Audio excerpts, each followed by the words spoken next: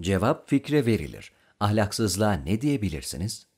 Faruk Beşer Fakiri tanıyanlar bilir. Yaklaşık 10 yıldır bu sütunları okuyanlar da öğrenmiştir. Düşündüğümüzün ve yazdıklarımızın özeti şudur.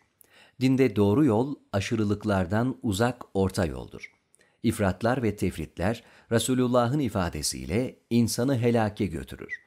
Müslümanların yüzyıllarca dünyaya hükmettikten sonra geri kalma sebeplerinin başında Allah'ın ayetlerini doğru okumaktan uzaklaşmaları gelir.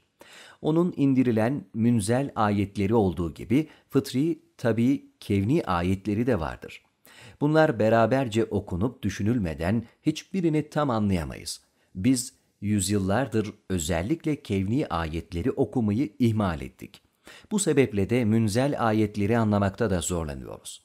Kur'an-ı Kerim Allah'ın münzel ayetleridir ve bütün insanlara indirilmiştir. Kendi ifadesiyle o önce insan için bir hidayettir. Sonra mümin için, sonra müminlerin takvalı olanları için, sonra da takvadan öte ihsanla yaşayanlar için hidayettir. Bunun anlamı onunla iman ve amel etkileşiminiz sürdükçe anlama kabiliyetinizin de artacağı gerçeğidir. Anlamak, yaşamaktır. Kur'an-ı Kerim her seviyede insana hitap eder. Yani herkes kabiliyeti ölçüsünde ondan anlaması gerekeni anlar. Ancak herkes Kur'an-ı Kerim'den anlar demek, herkes Kur'an-ı Kerim'i anlar demek değildir. Onun muhkem ve müteşabih ayetleri vardır. Muhkemleri esas alarak anlamayı sürdürdükçe müteşabihleri azalır. Onu ilk muhatapları asıl diliyle ama yine kendi kabiliyetlerine göre anlamışlardı. Sonrakilerse yine o dile ve anlayanların anlamasına vakıf olarak anlamışlardır. Millet olarak onun dilini konuşamayanların onu anlamama mazeretleri olamaz.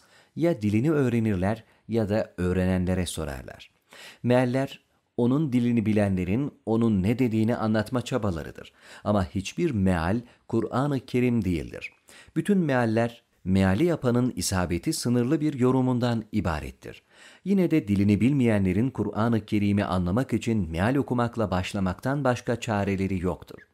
Ancak mealden ahkam çıkarmak, Kur'an-ı Kerim'i anlamak değil, ahkam kesmek olur. Çünkü mealler bağlam ilişkisini tam vermezler.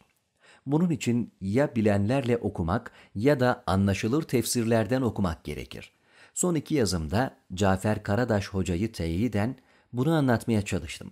Diğer yönden biz Kur'an-ı Kerim'den anlamayız. Kimse meal okumasın, kimse meal okumasın, hatta kimse tefsir okumasın edebiyatı da Kur'an-ı Kerim'in ne olduğunu anlamayanların ya da insanları belli peşin fikir kalıplarında tutmak isteyenlerin fırkacılık anlamına gelen söylemleridir ve hiçbir kıymeti harbiyesi yoktur.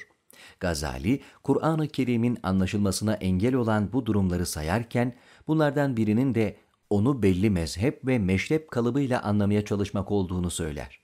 Bu fakir bu sütunlarda bunları en az 10 defa yazmadın mı?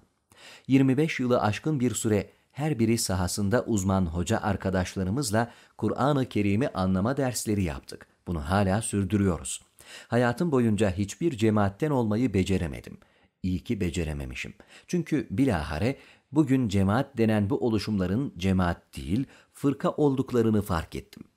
5-6 yıldır bu Kur'an-ı Kerim çalışmalarının semeresi olarak tabii ki bendeniz de kendi anladıklarım kadarıyla bir meal yaptım ve bunu insanların hizmetine sunmak üzereyim.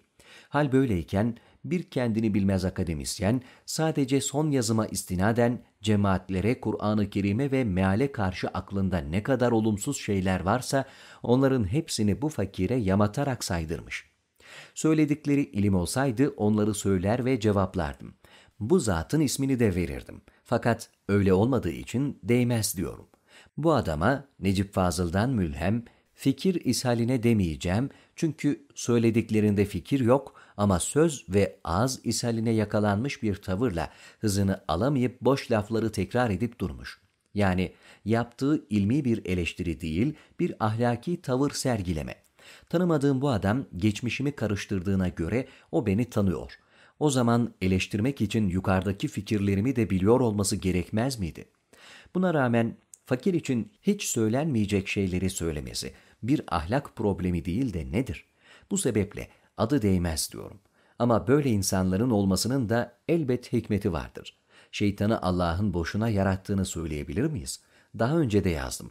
Çizgilerimiz farklı da olsa düşünenlere karşı hep olumlu bir bakışım vardır. Yanlış gördüğüm fikirleri eleştiririm. O ayrı. Ama hiçbir fikri ve ilmi varlığı olmayanların işportacı ağzıyla konuşmaları, çıkamadıkları yerlere birilerinin sırtına basarak çıkma arzusundan başka ne olabilir? Allah hidayet versin. Ketebe yayınları sundu. Faruk Beşer